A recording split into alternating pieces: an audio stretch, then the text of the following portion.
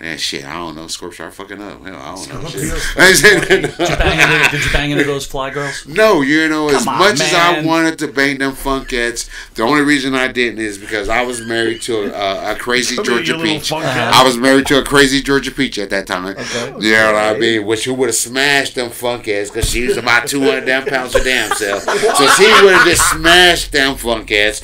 But, anyways, yeah, so I was like, I wasn't even trying. And I was taking my daughters, I was taking my daughter my Are, are you stepdaughter to to the say that your shows. ex-wife isn't like most girls? no, my ex-wife will beat the hell out of most girls. Okay, that's all I can say. That's all I'm gonna say. She wasn't no little woman. She was a full Georgia peach. Nice. I'm talking about full Georgia peach. All Nice. right, every bit of a Georgia peach.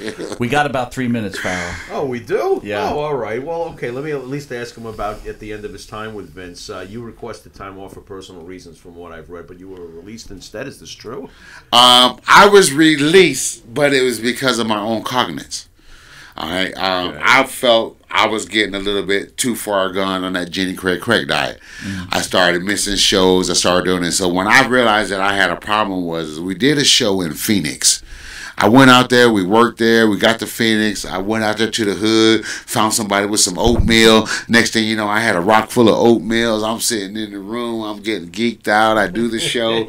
Um, I'm supposed to get on the flight the next day. I'm, I'm so damn high and shit that I can't even get on the flight to go home. I'm going home to Denver, my hometown where I live, having a show. My mom is coming, my grandmother's gonna be there, all my cousins, all my family, my stepmama. said, I got the whole damn family gonna show up. I got everybody in town, all everybody out there in Denver. They show up out there to Denver. I'm still in Phoenix. I get a call. Where you at? I'm still in Phoenix. I get a call. Where you at? Three days later, I'm still in Phoenix. Shit, four days. I'm still in Phoenix. I finally get a flight. I don't miss the show in Denver, my home damn town. My mom's calling, my grandmother's calling, everybody's calling. Are you okay? You're okay. You know, I got to that point where I don't got too damn paranoid. I couldn't even answer the damn phone. So now I got the office calling. I got people calling, and they got to call the front desk to find out if I'm still there. Yeah, he's still here. I ain't checked out yet. I changed my ticket about five, six times. Finally, I got on the ticket, went home, called Jim Ross. Um, I was in the middle. I was like, okay, I got to get my shit together. So I finally went home and shit high as hell. I packed up my kids, called the ex-wife up. Uh, Yo, having hard times. I'm gonna have to bring the kids back out to you to Denver. So I loaded up the car, loaded up the kids. Kids, my oldest was probably about 11 at the time. I loaded up the car, smoked my way, drove the kids all the way back out to Denver and shit.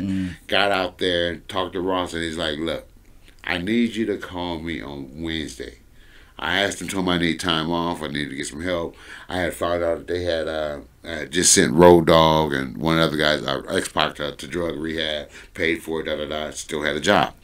So I'm thinking, well, damn, at least if I go to drug rehab or get the help, I'll come back out. I'll still have a job. Well, they told me to call him at Wednesday. I'll never forget this. Call me Wednesday, 12 o'clock. I said, yes, sir.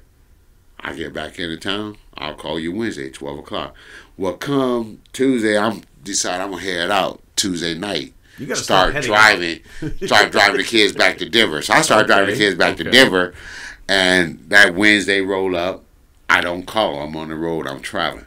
There's no reason why I shouldn't have called. Why I didn't call. I called him Thursday at 12. Call at 12, but a day later. Day late. Mm. And Jim Ross just strictly says, that, look, I asked you to call Wednesday. You call Thursday. I'm going to have to let you go. That was that. You get yourself clean. You get yourself straight. You're more than welcome to come back for another tryout. right.